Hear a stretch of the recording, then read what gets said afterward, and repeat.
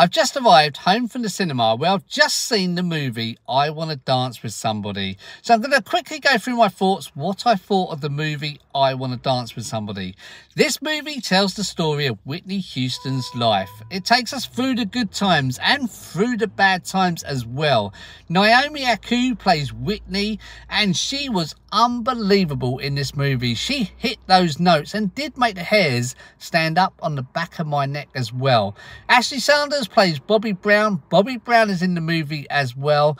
So is Stanley Tucci as well. A couple of scenes to look out for, which I thought was good was the American national anthem at the Super Bowl and also the filming of The Bodyguard. That was very good as well. It's a very good movie. I give I Want to Dance with Somebody 4 out of 5 popcorns. It's rated a 12A and the running time is 2 hours 26 minutes. Go see it, guys. Bye bye.